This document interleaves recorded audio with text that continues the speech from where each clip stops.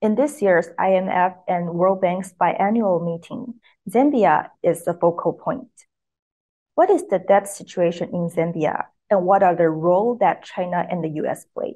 Yeah, so Zambia is one of the, the African states that has gone into default. That is to say, that it has essentially stopped servicing an important part of its of its debts. And uh, Zambia was one of the first uh, countries to to do so. It was became a victim of this situation during during the the pandemic. And Zambia has already had a long-standing reputation of this kind of being this kind of boom and bust country. It's a big exporter of copper in, in particular. And so whenever the copper price is high, uh, things would seem to be good. The Zambian government would spend a lot of money and then the copper price would come down or would crash and then um, all of a sudden the money would, would go to and Zambia would be faced with a debt problem. Now, interestingly, in the last 20, 30 years or so, China has increasingly moved into mining in Zambia. And as part of that move into mining, also increasingly made uh, different funding lines available to the Zambian government.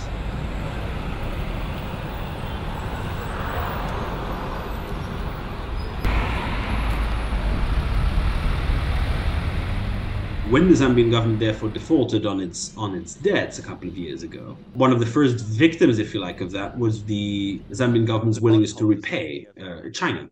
So China has a has a big incentive in sometimes sorting out this this situation, getting Zambia to at least serve some of its debts. It has a long-standing and good relationship with Zambia, but at the same time, it also knows that many other African countries are watching and are hoping, well, if, if Zambia manages to extract some concessions from China, for example, that China says, okay, you know, we agree that you only repay, uh, as I said, 60 or 70% of the money that you actually owe to us. Other African countries may demand the same thing. And that could be a, a problem for China. You know, being being generous vis-a-vis one country, if you like, is quite easy. But you're always worried it's going to create a precedent that others are going to see this and say, hey, wait a minute, we should ask exactly the same thing. We should do the same thing as the Zambians did, and that will get us uh, get us a better deal from the Chinese and maybe even from from other from other creditors. So there's been a lot at stake uh, for China. There's also a lot of stake, as I said earlier, for the IMF and the World Bank.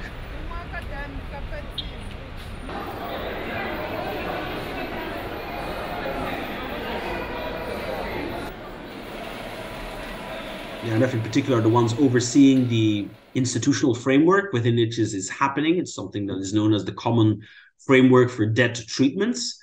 And it essentially uh, entails bringing together all the all the major creditors of a of a country, um, including at least in theory private sector creditors, all of whom will coordinate a position among themselves, and then come to an agreement with the with the debtor country um, to say, okay, we can reschedule, uh, you can sorry, we can restructure your debts. Uh, here is what we what we propose for you to to return uh, to the situation before you you defaulted. Um, again, for the IMF and the World Bank, this is very important. This is their flagship global global initiative of the last couple of years. Um, they want this to succeed. They want China, Zambia, and other creditors to reach an agreement. But as always, who will pick up the tab? Who is willing to let go of some money? That's a very difficult negotiation. It's been it's been dragging on for a while. Uh, the United States has tried to increase the pressure on the different actors to do that. The United States is not a big creditor in the uh, in the Zambian space. That always makes it easier uh, to uh, to talk tough when you don't actually have money um, dependent on it.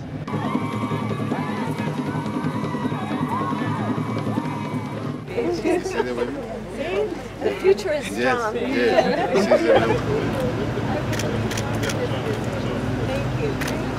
For African countries, what kind of major differences are there in regards to that reconstruction between the US and China, and what are the reasons behind? They can be quite stark. I mean, if most American creditors are private sector, and most on the Chinese side are either you know fully the Chinese state or what are known as policy banks, which nominally speaking are are independent, but de facto we know have very close ties to the Chinese Communist Party or even fully fully under its uh, under its supervision. That does have important implications, of course, on what kind of uh, restructuring you have in mind. You have identified a number of African countries, I think more than 20, that are near or in danger of debt distress.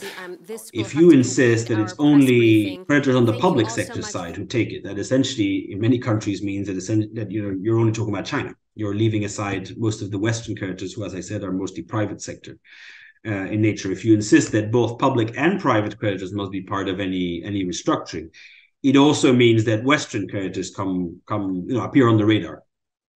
So in that sense, there's quite a lot riding on it. These, these things may sound very technical, and they, in a sense, they are. But there's very obvious political implications to this, and, and everybody knows that. Um, you know, the United States, the U.S. Treasury has long been quite protective of of Wall Street and the interest of the U.S. financial industry. Very similarly, China is quite protective of its policy banks, of China Development Bank, of the Exim Bank, to some extent of ICBC.